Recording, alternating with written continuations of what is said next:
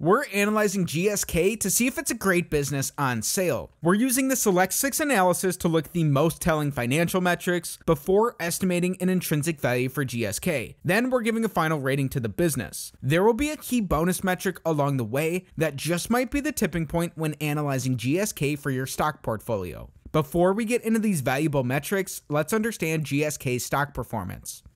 Right now, GSK trades for $35.15 per share. Year to date, their stock's pretty much flat. In the last five years, their stock price is down 32%. GSK spun off their consumer business, Haleon, in July of 2022. The company's stock price had a big drop when they spun off Haleon. It continued to fall after that and since then has rebounded slightly. It still owns a 13% stake in the business. With the two companies trading independently, both of them have their own multiples. In the last 10 years, their stock price is down 46.5%. Going back prior to the global financial crisis, their stock price is down 41% overall. Keep in mind this includes the decline in their stock price from their spinoff, and GSK is a big dividend payer. Right now, GSK pays a 3.88% dividend yield. Their average dividend yield throughout this time is in addition to their compounded annual returns. GSK trades $7 above their 52 week low. The company is down $20 from their 52 week high. GSK is a big business. They have a $71 billion market cap. But the burning question is why should we be paying close attention to GSK? In the pharmaceutical industry, GSK, formerly known as GlaxoSmithKline, ranks as one of the largest companies by total sales. The company wields its might across several therapeutic classes, including respiratory, cancer, antiviral, as well as vaccines. GSK also uses joint ventures to gain additional scale in certain markets like HIV. GSK started the trend of these pharmaceutical businesses spinning off their consumer healthcare units, which Johnson & Johnson recently followed with their Kenvue spinoff. Now that we have a background on the business, let's get into the numbers. Starting off with metric number one, we want their average return on capital in the last five years to be above 14%. The average publicly listed business earns about a 7% return on capital. Looking for a benchmark that's double this allows us to build in margin of safety based off the quality of the business. GSK's returns on capital have had their ups and downs over this time. They dropped to a low of 11.5% in both 2020 and 2021. Since their spinoff, they've increased these, however. In their last fiscal year, GSK earned earned 23% returns on capital. Averaged out over this time, they're earning about 17% returns on capital in a given year. This is a few percentage points above the benchmark we'd be looking for, meaning this is a check coming in on metric number one for GSK. Metric number two, we're looking for growth to back up these high returns on capital. We want to see five year growth in their revenues, earnings, and free cash flows. This metric is all or nothing. All three of these have to be up for this to be a check. We'll also be including their numbers up until today. Due to their spinoff, this is going to be slightly skewed. Their revenues are down 8% when we include that spinoff. Their earnings are up massively. They've more than quadrupled as they had a $12 billion boost from discontinued operations. And because of the company's spinoff, when we include their numbers until today, their free cash flows are down 49%. They've almost been cut in half. While there's nuance here because of the business's breakup, this is still an X on metric number two. Metric number three, we're looking for earnings per share growth in the last five years. This looks at the company from the view of an individual shareholder in the business. We just learned the company had a huge boost in their earnings due to the discontinued operations from their spinoff. Even excluding that, their earnings are up over this time. GSK has diluted existing shareholders by about 3% as well, so slight shareholder dilution. However, their normal growth in their earnings is outpacing this, meaning this is going to be a check on metric number three. Their earnings per share are up over this time. Metric number four, we're looking for free cash flow per share growth in the last five years for GSK. A similar situation here, their free cash flows are down and they've diluted shareholders by 3%, meaning their free cash flows per share are down. This is an X on metric number four. Recapping where we stand currently, through four metrics, we're split evenly. We have two checks and two X's for GSK.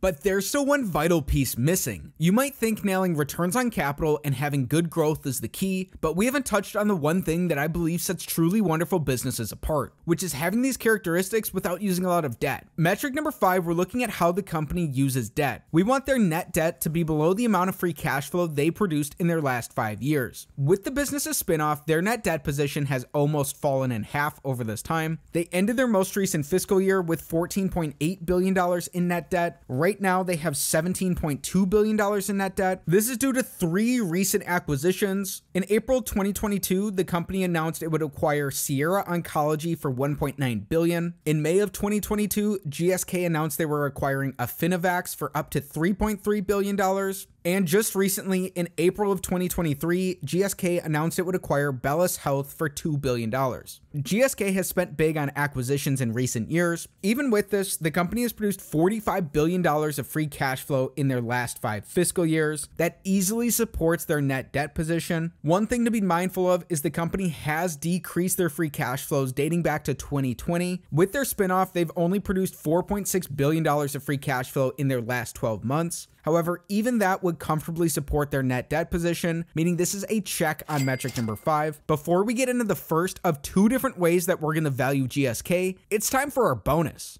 As our bonus, we're looking at GSK's dividend profile. Right now, GSK pays a big 3.88% dividend yield. That's above the dividend yield from an S&P 500 ETF. People make mistakes all the time by blindly chasing dividends. For GSK, we want their dividends to be supported by their cash flows. That's been the case in all five of these years. The company's dividend has declined since 2020, in line with their declines in their free cash flows, but it's been supported through all of these years. Even after the company's spinoff, with their declines in their free cash flows in their last 12 months, GSK looks like it's still able to support their dividends. While this is a snapshot of their last five years of performance and it's no guarantee for the future, GSK's dividend is covered by their free cash flows right now.